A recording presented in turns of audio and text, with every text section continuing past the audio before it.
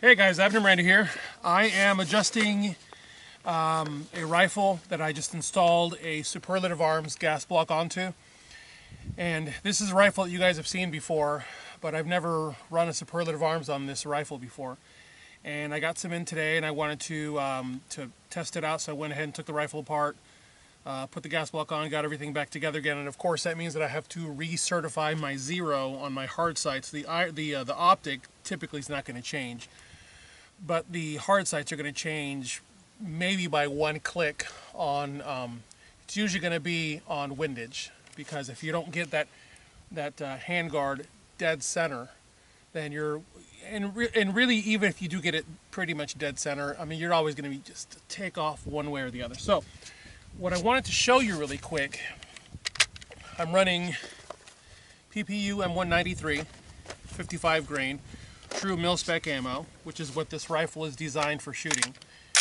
And wanted to show you, this thing is, is just a hair uh, tightened off. I, I basically reduced the gas just a little bit off of factory, but, but I wanted to show you where this gun naturally dumps casings.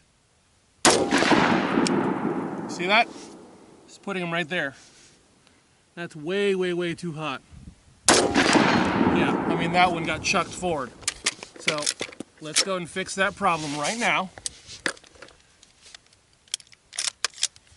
What you do is you take the very long gas, of the, uh, the hex wrench that it comes with, and you insert it into the front of the gas block and you turn clockwise and I'm gonna do major major moves in. I mean like like big time. I'm, I'm, I'm turning this sucker down big time.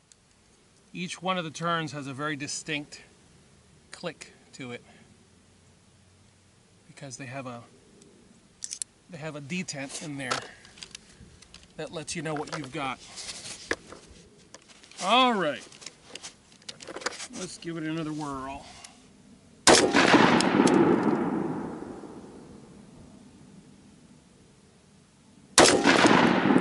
That's considerably better.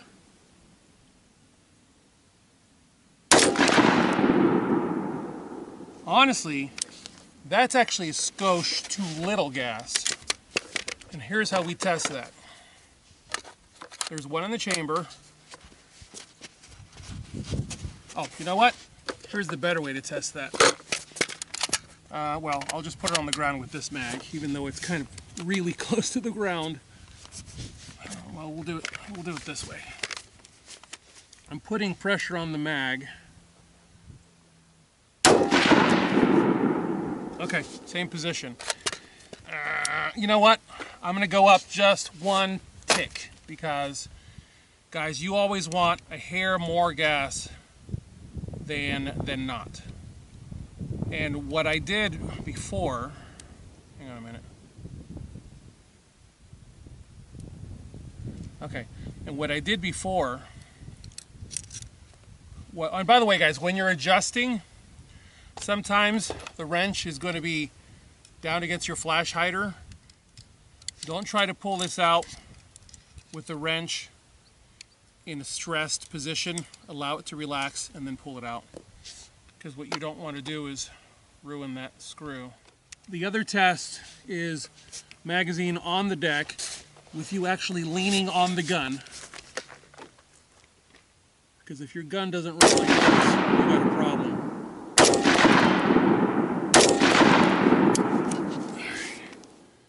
You know, honestly, I want those coming around I do. I want those coming around just a little bit more. I'm going to pinch this off just a skosh more. When it starts getting too far back, that means that you're actually pinching off the gas flow. You want there to be enough gas in the gun so that it's coming out at 3 o'clock, not really so much at 3.5 or 4 o'clock, but uh, I mean, it's on the edge. it's, it's, it's on the edge. What I was saying before was when you go to take your wrench out, if it's under load, if this is poking into your flash hider or your barrel, don't try to pull it out when the wrench is like that under load. Allow it to relax and then pull it out.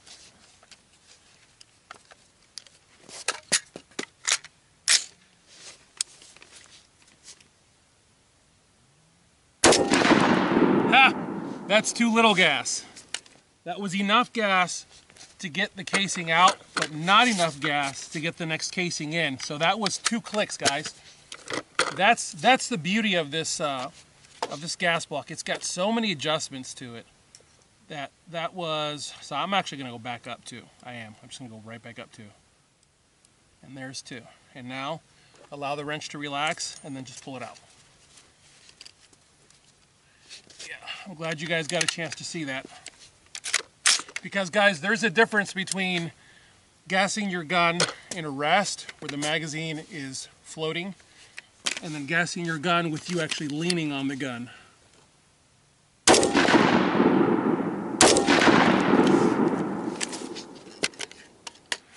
Do it like that.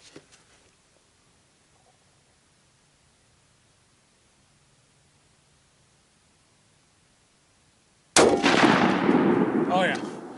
Yeah, that's got enough juice. Cool. All right. So this gun is now gassed. Done. Now I have to verify um, although frankly, I'm inside of that circle. I've got a 10 inch circle painted. I don't have a camera on. I've got a 10 inch circle painted as I showed you guys at the beginning of the video um, on this target at 100 yards, which 10 inches is definitely inside of the, uh, the center of a man's chest. And I can see it from here. All the shots are pretty much in the middle, but you know what? I'm not into good enough. So I want to verify that I'm actually hitting. And here's, here's the reason why you have to re-verify zero when you change a gas block. When you change the gas setting on the gun, you're in essence changing, well, not in essence, in fact, you are changing its dwell time, meaning how long does the bolt carrier stay in a forward position locked in battery? How much time in in that measurable period of time does it take for it to begin to rotate, unlock, and cycle to the rear. And all that equates to how much velocity you're getting out of your round down range. So, especially at 100 yards, you're going to notice the difference. So, every time that I do anything to a gun, whether it be sights, optics, gas block, bolt carrier change, got to go back out and I got to re-zero, or I'm sorry, not, not re-zero. I have to verify that the zero hasn't shifted so much that I'm going to have to do, adjust something. Based on what I'm looking at right now, I think I'm probably okay. But I'm going to go down range, I'm going to paint that up, I'm going to come back. By then the rifle should be cool enough. In fact, I need to lock it open so that it does cool. And uh, we'll do it again. And we're back from commercial. By the way, guys, I should have shown you this earlier. I'll put it up on the screen. This is the insert that's the Superlative Arms gas blocks come with. And this is a new insert because the previous one wasn't this detailed. Guys, this is really nice.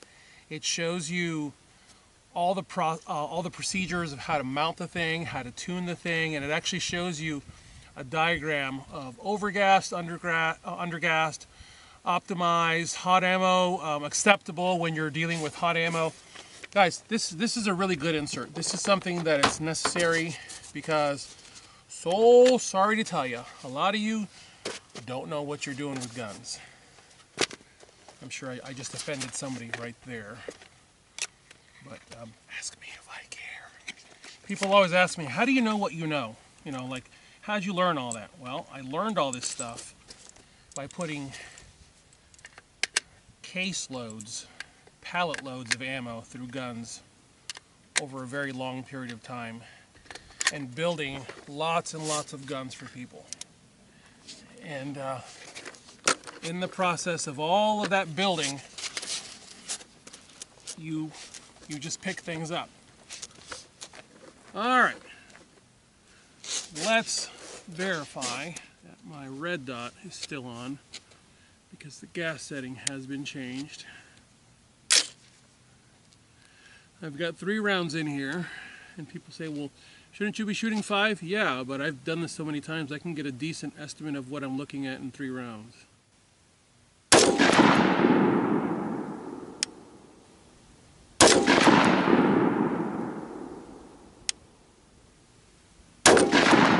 Ah, love that sound. Properly gassed rifle will go on that last round and it sends a frequency through the gun that just feels like a tuning fork. It's really nice.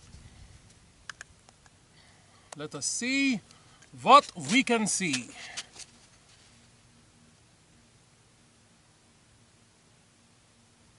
Yeah.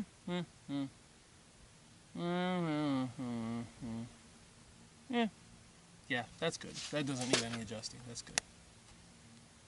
Das ist gut.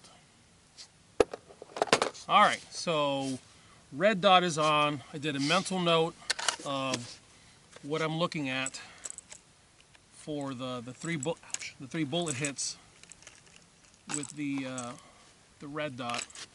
So now load another three rounds in here, and I'm going to see what my hard sights are seeing. And we shall see what we can see. Guess it'd actually help if I shut the optic off, right? Pumpkin on a fence post, folks. Put that 10 inch, that 10 inch circle right on the front sight post with the front sight post intruding into the bottom of that circle just a little bit as if it were a pumpkin with a flat bottom sitting on a fence post.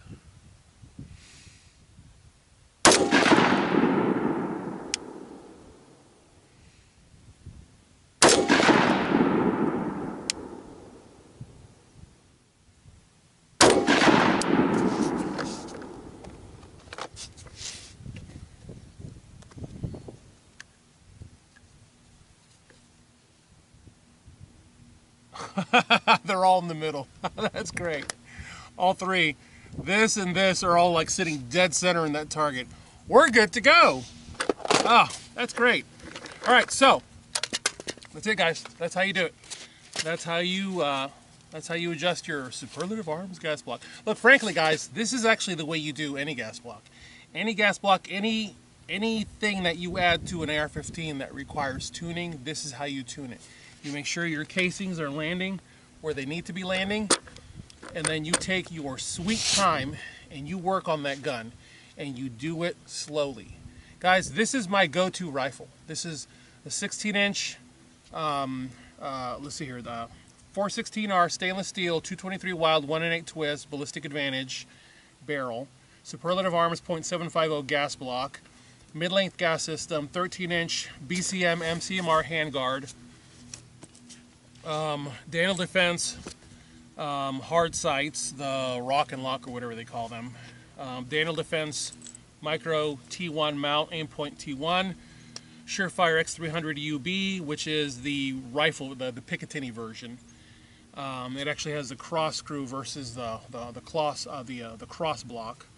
Um, Norgon, um, Ambi um, ambidextrous battle uh, battle arms development, ambidextrous safety selector, nickel boron coated, Geissele SSA, Anderson manufacturing lower, uh, Magpul MIAD grip, Magpul no I'm sorry BCM rail rail panels that I just painted OD green.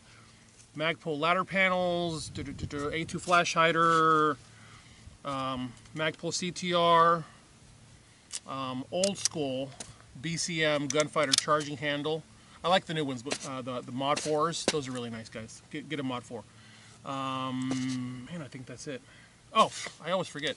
And of course, the handy dandy uh, Tier 1 Citizen two-point sling. Now, some of you are going to ask, why two-point? Well, you guys know I'm an aficionado of single points, but this gun, um, because it's a go-to gun, meaning this is going to be the gun that I'm going to spend hours, if not days, wearing.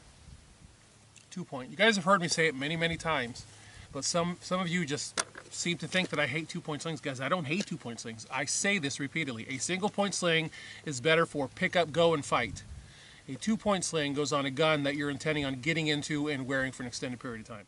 God bless you all. Oh, I forgot to tell you, uh, the upper is a BCM. It's um, it's uh, just a standard BCM M4 upper, and they're not marked because BCM uppers do not come laser marked with the BCM logo because they didn't build the gun. Even though it is one of their uppers, the BCM stamping is on the front, but you're never going to find it laser etched. But it is a BCM, and it it's like butter. I love it. So, um, anyways, dynamite rifle. It is now uh, gas grade. Uh, oh, I forgot. One more thing. Nickel boron bolt carrier group from AIM Surplus. It's what I run in all of my guns. Everyone's always asking me what nickel, what bolt carrier groups to run. BCGs from AIM Surplus. they will serve you just fine. I've been running them for for years, for tens of thousands of rounds, zero malfunctions. If you ever actually do have a breakage, they suck it up. They take care of it like zero zero static, guys. Dynamite. The owner of Aim Surplus is my friend Brian. Now we didn't start out as as meaning I didn't start shopping at Aim Surplus because Brian is my friend. Brian and I became friends because I was an Aim Surplus customer. There's a story there. I've already done it before. God bless you all. Thank you for watching. Get those guns out and practice. Have a good one.